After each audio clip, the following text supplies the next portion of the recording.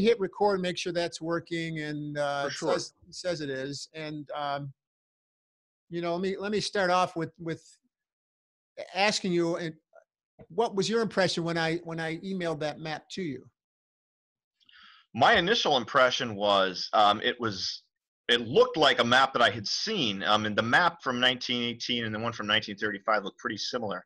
Um, I was really struck at the detail of it.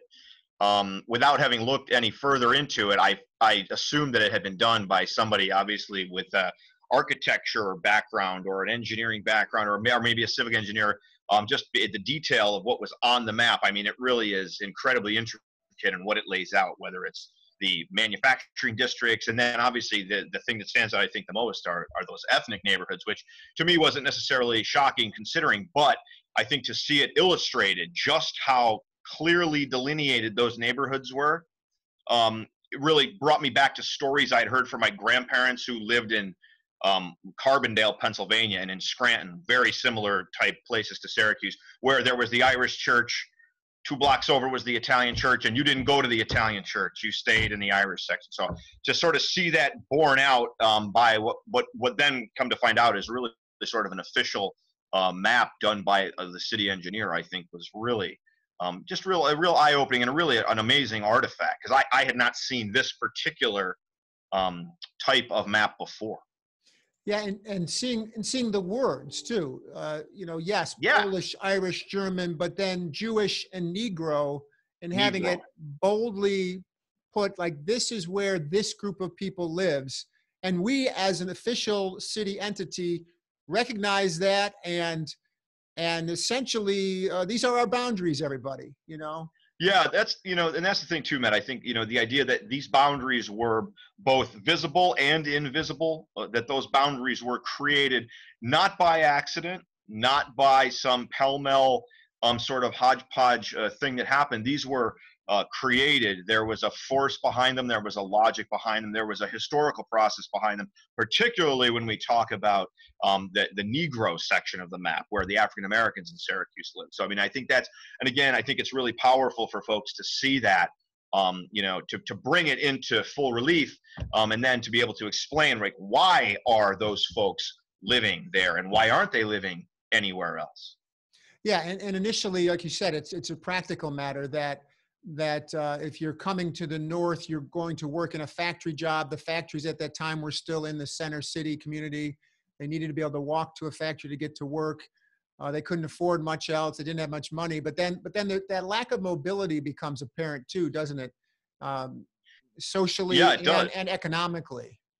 Yeah, there's no doubt about it. I mean, you said you were going to live next to a factory. I mean, let's say if you worked at the Franklin factory, which was at this time, uh, 1919, the largest uh, employer in the city, you probably lived over on the near west side. And if you had the money, you could maybe have taken one of the street railway systems, but otherwise you were probably walking. So you weren't going to be able to be living, you know, up on the north side and working at the Franklin factory. You were going to be living over, um, in, you know, in the Tip Hill Geddes Street area. And the same went for those folks working, you know, in new process gear that would have been living down near the lake and, and those guys up on the north side. So that, that really, you know, it speaks to sort of the, the limited nature of people's lives. People didn't go far from where they lived, from where they worked, um, even back in 1919.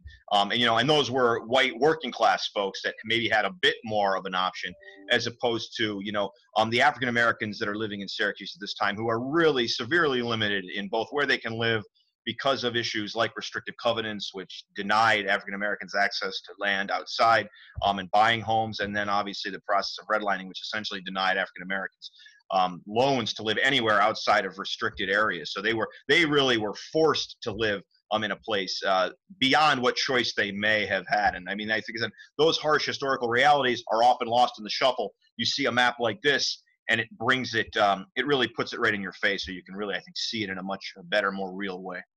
I've got the ability, I think, to uh, to throw that map up here if I can successfully accomplish some little bit of No, technology I hear you. The here. messing around with Zoom is, is something I'm still not very good at. Yeah, no, I, w- I had it. I had it. Uh, I think I think this is it here actually.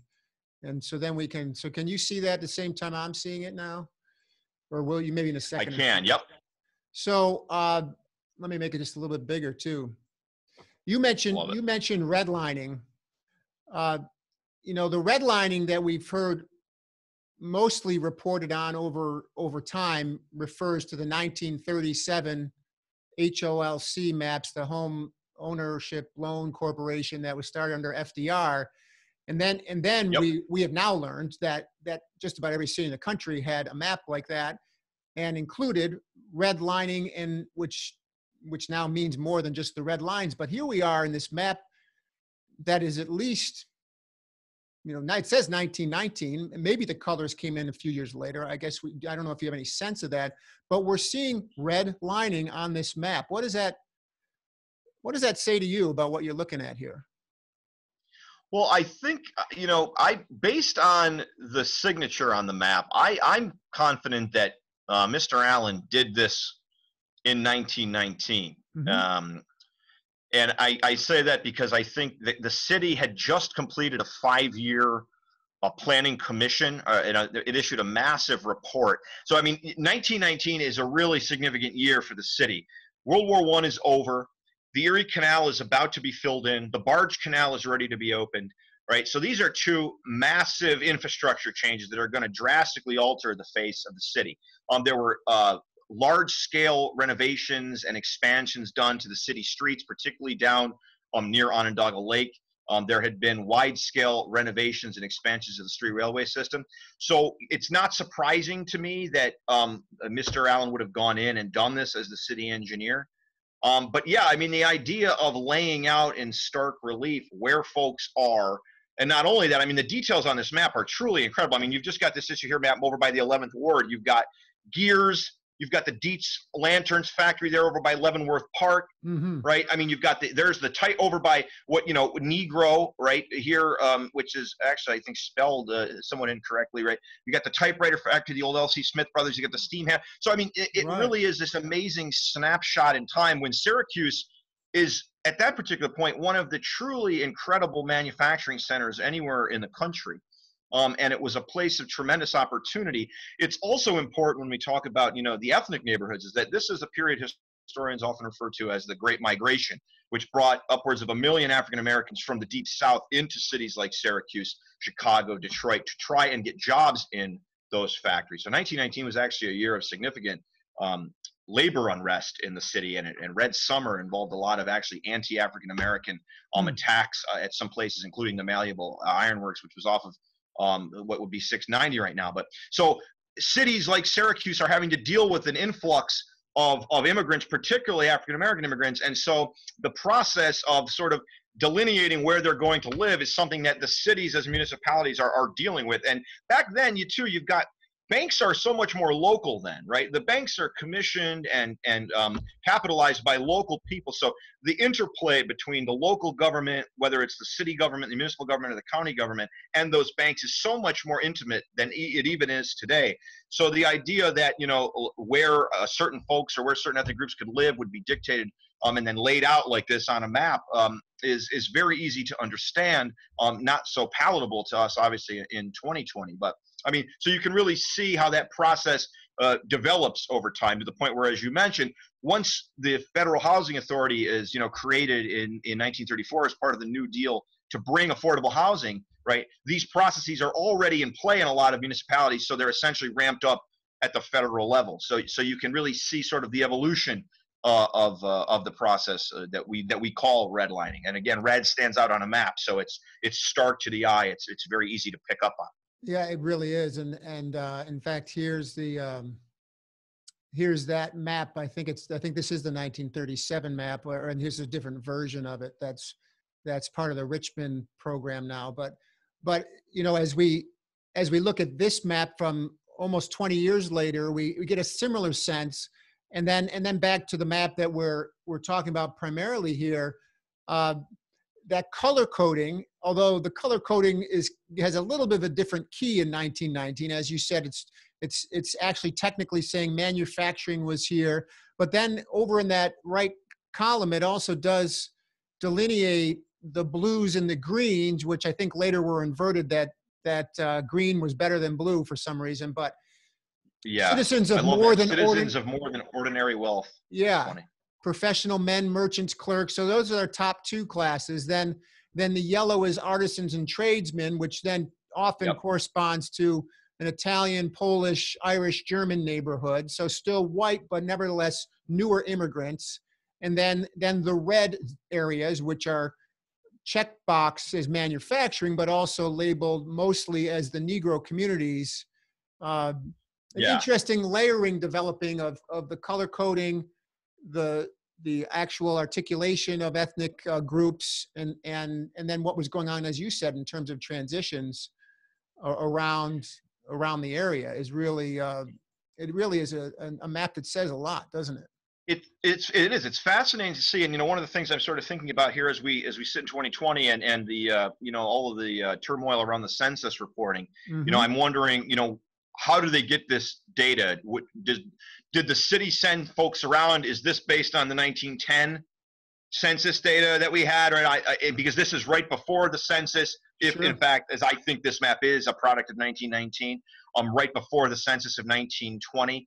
Um, you know, it, it really it's it's a it's it is it's fascinating to me to have that much, uh, and it is amazing just how this one 2D map can have so much depth of history of mobility of you know the stories uh, the ethnicities here and the way in which uh, they are they're they're laid on top of each other and one of the cool things you know is to drive through the city today and you can see you can feel the vestiges Mhm. of these very stark ethnic neighborhoods even though very few of these neighborhoods if any really with as you said earlier the exception really of tip hill have any of this you know ethnic identity left. I mean there's that little stretch on the north side of, of little italy but nothing like this. And i you know one of the things i'm also struck by is so here we are in the 15th ward there you know and down Yeah. into the 18th ward which is labeled the jewish section uh, i've spoken to a few uh, african american folks uh, who grew up in the 15th ward so so that little strip there where it says negro uh, where basically Mhm. underneath the italian section Yeah. um, right above the 15th ward.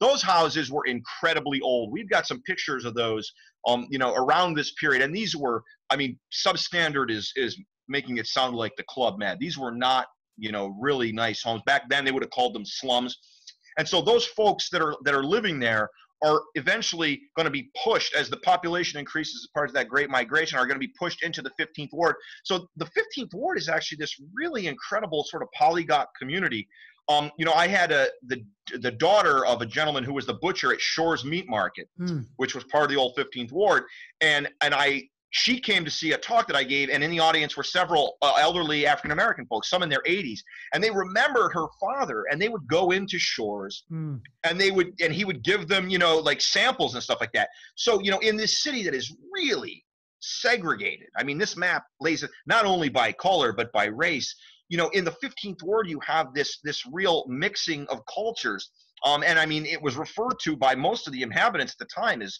as jewtown because that's where the jewish people lived. And as the jewish folks leave in the 20s and the 30s the african american population of that particular section of the city grows to the point where essentially by 1960 and urban renewal you've got about 90% of the city's african american population living in this area that had one point been the Jewish neighborhood. So you see a real turnover there, and you know that's the story of a lot of these neighborhoods. But uh, but the 15th ward, of course, is important because it's obliterated to make way for Route 81. Yeah, and, and not just Route 81, but also uh, the Presidential Plaza developments, the Public Safety Building, uh, the Everson Museum. And, Everson Museum. I mean, this this map is also interesting. Uh, Who would have thought that a city had a street called Orange in it next to Grape Street between Almond Right. and State, and and with the Syracuse Orange men or Syracuse Orange Sports, that we got rid of the street labeled Orange. But apparently, that's what happened. And and you're right that these neighborhoods, uh, right right in this 15th ward where the label says Jewish, what had become a mix by the 50s and the 60s, and and in a lot of what you read in the newspaper accounts from the time and and other reports are you know that this was called the near east side which is a phrase we don't even use anymore Uh, no, we don't. That first part of urban renewal was the Near East Side Urban Renewal Initiative, exactly. And I mean, it wiped out uh, the whole neighborhoods, whole swaths. And you know, back to what you had mentioned earlier, Matt, too, about the 30s map. That 37 map is Syracuse is really um, on the vanguard of that public housing movement in the New Deal. And so, right here, smack dab in the middle of the 15th Ward, would have been um, the Pioneer Homes development, which is was, of course, um, built in you know in the mid 1930s to uh, provide affordable housing um, for people that didn't have it. So you know, Syracuse was really on the cutting edge um, back then of these new federal programs to try and alleviate some of that poverty um, in some of those housing developments in these neighborhoods. Um, Yeah, that- and, for, and yeah, go ahead. No, that that is interesting, and I know that that uh, let me just click back to, to the just the video Yeah, here if I can, um, because I'm getting too much going on at the same time. You know what I'm saying? If I can, if I can even, okay, I stop sharing. There we go. Um, yes, that that the the 1919 map doesn't show the projects, and then in, in the early 30s, mid 30s, that's when those were built. Do you are you aware? Were, were there any restrictions on who could live there? Was that race oriented, or was it were you allowed to live there regardless of race? Was it poverty It- only? pioneer the pioneer homes as were built again under sort of the federal regulations it wasn't ever a um, let's say explicit. Sometimes we talk about de jure desegregation de facto segregation. Yes. it would have been one of those situations where you would have applied to get into those housing projects and based on income levels and other things which may or may not have been um, even known to the people that were applying uh, you would have been granted um, access to those to those houses. Uh, this is one of the sort of the the, the the great underbellies or the dark side of those New Deal programs is that while they weren't explicitly um, racist, they had very racial outcomes that were w- much more um, devastating to African American families because these housing projects were built in cities like Syracuse and in what had been known as like, like slum clearance zones in the 1930s. Um, to build these beautiful, I mean, the pioneer homes were designed by King and King architects. I mean, they were really uh, beautiful places uh, for the period. Um, but no, so it's it's it's hard to say. I don't know of any African American families uh, living there um, in the 30s when the houses were built.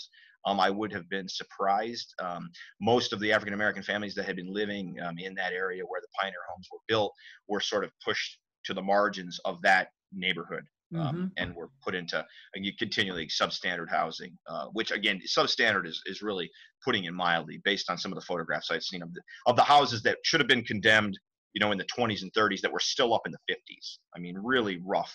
Right. rough and, stuff. and and no uh, no capital to invest in your home, or or the landlord didn't bother, or whatever the situation might have been. Right. I mean, they just kept falling apart. Exactly, and the and the city, you know, one of the things that pioneers and reformers are, are trying to bring up back then is the city's code enforcement. You know, the city need, had to take a bigger uh, role in going into these places and forcing landlords to take up property to make sure that things were being taken care of, that people weren't stringing electric wires through three different houses, causing you know fires and things like that, which were really commonplace in these neighborhoods back in the teens and 20s. And then when the depression hit, obviously all bets were off.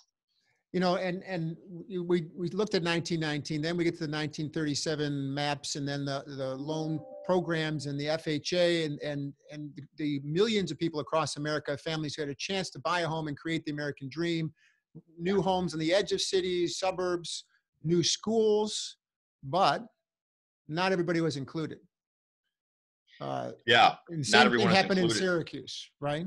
Yeah that, and that- that really is the story of you know the post-war dream for a lot of folks you know in their 50s and 60s and 70s who grew up in the 50s uh, particularly in a place like syracuse. I mean you look at those pictures of salina street in the heyday uh, this place was humming you know it had a higher than standard um, you know average income it was a nielsen test community it was a test community for products people in syracuse lived very well um, and those uh, proliferation of suburbs um, you know did great for those folks. And unfortunately, it also is is uh, at the same time what you have is this process of basically deurbanization, what is sometimes referred to as white flight. Um, we talked earlier about urban renewal and the clearing away of you know old buildings, but that had a very you know real um, human toll as well. And then what you end up seeing happening is just the reverse. One of the ideas behind the you know urban renewal um, and Route 81 in the in 690 was that it was going to breathe vibrancy back in to the city of Syracuse. And what ended up happening was just the opposite. The factories that were at that point, I mean, some of these factories, you know, the Brown Lipe Chapin factory, the Franklin factory, you know, these factories were built um, at the turn of the century. They're decaying, they're old. So those factories moved out where their workers did, to DeWitt, to Fayetteville, Mhm. right, um, out Yeah. that way. So what was left in the city were either people who lived there by choice, and that wasn't, you know, a lot of folks back then, but it was people who had no other place to go again not because they didn't want to go somewhere else but because they literally couldn't get a loan to move somewhere um, and one of the you know one of the things i think is worth uh, talking about and i'll certainly can send this to you uh, for you to peruse sure. at your leisure um, was a CORE, the Congress of Racial Equality, had a chapter here in Syracuse that was yeah. founded in 1961. In 1964, um, they put together an incredible document called Project 101. Hmm. And essentially, it laid out 101 um, policy proposals to try to deal with the interconnected problems of racial segregation, employment discrimination, housing segregation and, and educational segregation, which really had led to um, tens of thousands of people, mostly African American, but also you know some uh, just poor um, other ethnicities, poor white folks living in these left, basically people that were left behind by that great post-war boom. Um, you know, and I think that oftentimes that those stories are forgotten because people aren't here, sort of out of sight, out of mind. The, you know, people tell me stories all the time about going into Salina Street to shop for Christmas going to Dey Brothers Tea Room and Addis Brothers and, and you know hanging out down there, going to you know the, the bookstore there, Economy Bookstore. That stuff basically stops by the 70s. And you know, if you ask anybody that was in Syracuse to go to Armory Square in the ni- late 1970s, 1980s, they weren't going to be hanging around there, right? Right. So everyone's out in the shopping malls, kill downtown. So so it really is this sort of uh, unintended consequences. Certainly, I think for the folks that thought it would breathe life in the city, and then all sides of other unintended consequences too.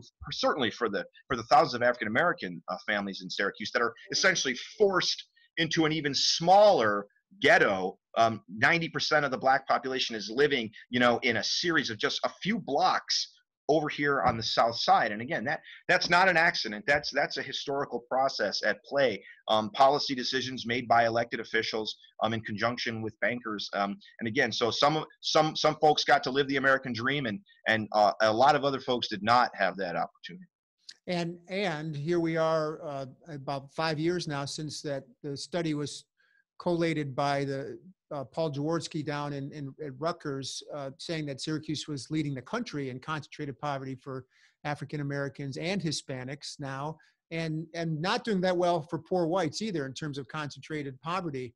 Uh, but but he came up here and I walked some of these neighborhoods with him, and he could look at building. He, he's like, this is exactly what I would expect to see.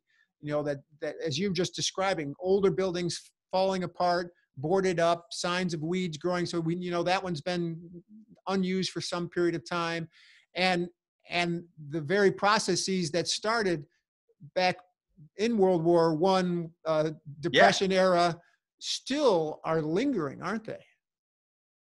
Yeah, I mean, and they're I'd say more than lingering. They are, I mean, they are omnipresent. They are here with us. I mean, you drive down the south side, the near west side, you can look at an Italianate home that was clearly built in the 1860s. It's maybe been sided over, but that house inside is built with stuff literally built during the Civil War or maybe just a few years after. Um, and families are living there. I mean, you go by, you know, anyone, a lot of those streets down down in those neighborhoods, and it's appalling. I mean, you know, it's it's appalling to think that there are people living there, and if people aren't living there, those homes are, you know, um, places for crime. I mean, one of the things, you know, the, the land bank is doing a great job of trying to get some of those properties there. But yeah, I mean, it's really important for certainly for myself as a historian to, to make sure that, you know, this is not a, these are not stories of, um, you know, people making choices to, to live this way. I mean, there are decades, in fact, centuries of historical processes acting on people, right? That limit severely their choices. I mean, when you talked about schools, yeah, you know, you make a decision to move to a neighborhood. Maybe you have kids, you want to have them go to a good school. If you're born into poverty, third generation, um, on the city's south side, I don't care what color you are, you're going to go to a bad school. You're going to be uh, there's going to be higher crime rates more poverty, your chances of success are statistically limited. So as you said, when you walked around with the professor from Rutgers, this is, you know, he's not surprised. He's he's right outside Newark. He sees this stuff every day. And so these these what at one time were these glowing on glistening neighborhoods, these beautiful, large Victorian homes that are now subdivided into nine, ten apartments. You know, um, these schools that were a lot of them built during the Great Depression as WPA projects that are now 100 years old right?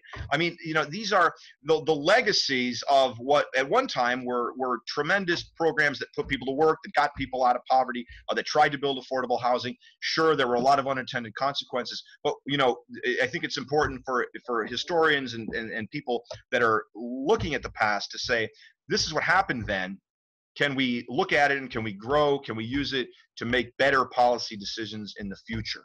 Um, and I think that's something that I know a lot of activists and a lot of professors and a lot of social uh, workers here in the city are thinking about, particularly when we talk about something like the Route 81 project.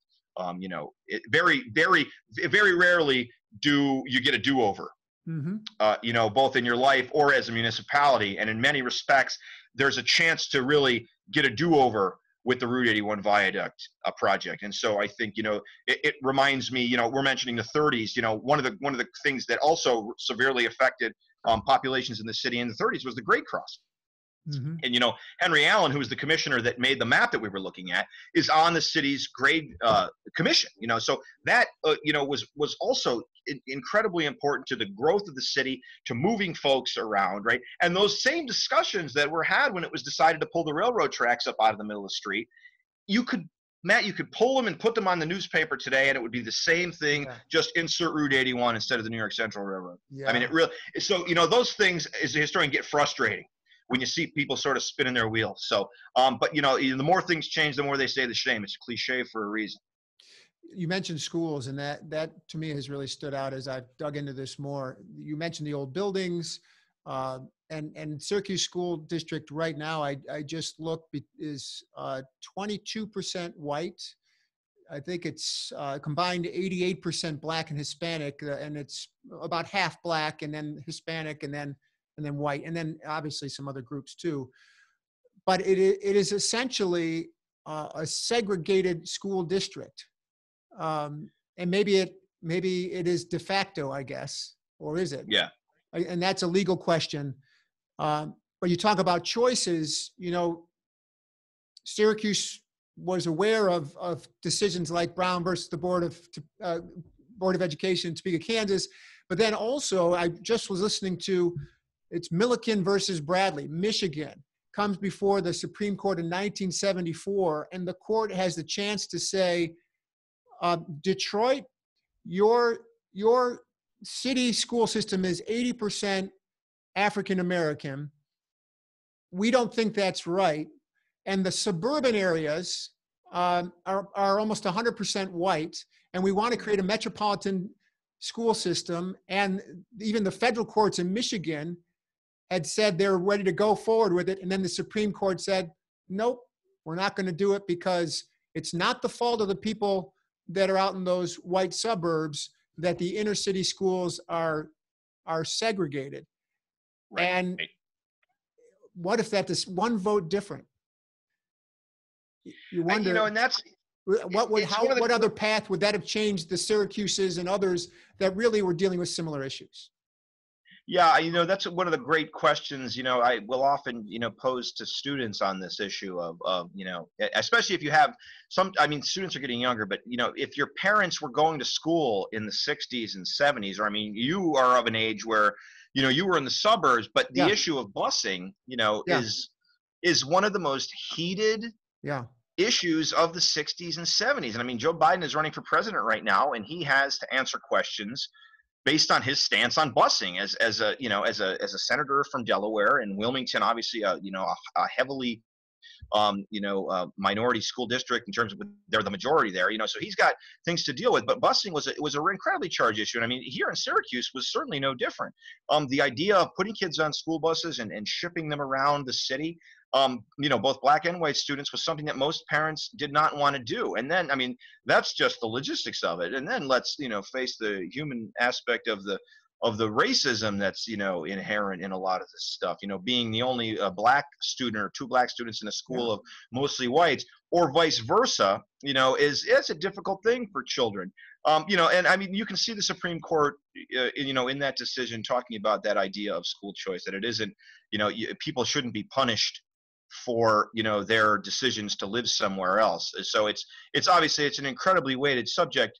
Um, but yeah, I mean that issue of how much I guess it, from a historian's perspective is how much control should the federal government have on trying to make uh, outcomes more equitable, right? And I Mhm. think that's uh, something that is certainly never going to go away. It's one of the sort of great um, questions of, of American history. And when we talk about something like this, uh, you know, people are obviously uh, uh, very protective of their children and, and want to give their children everything. That's a human desire, regardless of where you're from or what, what your last name is or what your skin looks like. And so I think that's a very difficult thing. And I think that's probably why, you know, that's usually why we talk about the court sidestepping that issue. But, you know, it, just, I think it's important to, to point out, you know, is that those school districts, what happens is the the historical processes again, is that those students have a much harder time um, getting out of those. I mean, I spent a year as an NSF fellow teaching in the city schools here in Syracuse.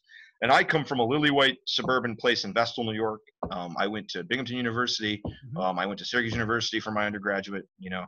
Uh, so let me tell you, that was an eye opening experience to say the least Mhm. to see what these kids have to deal with, um, to see that first of all, school is so much more than school um, in the, in these communities, in these poor communities, where school is a social worker, school is a food source. Um, kids are at school for you know eight nine hours a day. Um, you know, I think. And again, and then you sit and you think, why is it this way, right? And that's where we the things we've been talking about. Um, this is why it's this way. This, these are these are the end results of decades of decisions being made by policymakers and by individuals and by banks um, and you know by states and federal government um, that have given us the you know these communities and and it's going to take a lot of structural change to make up for that i mean you can't undo you know a 150 years of uh, second class citizenship or even you know even let's take urban renewal and and uh, you know the d- busing and school segregation as you said syracuse city school district is still a segregated school district. It is Yeah, you know just yeah, by definition. Uh, so you know and and how do you fix that? It's it's it's it's a very difficult thing to do. I you i don't think that most americans would say we're going to uh, submit to the government telling us where we can live um, you know it sort of reminds me of the debate right now with the police in syracuse right Mhm. can you force the police to live in syracuse Right. I don't know. That's that's a that's a that's a that's a very interesting philosophical question that I would love to speak on forever. But you know, these are these are real you know these are real issues with real results, and um, you know the history behind why you need to maybe have these conversations is something that you know is we really uh, need to bring up more. I think as a community. I'm just going to stop the recording.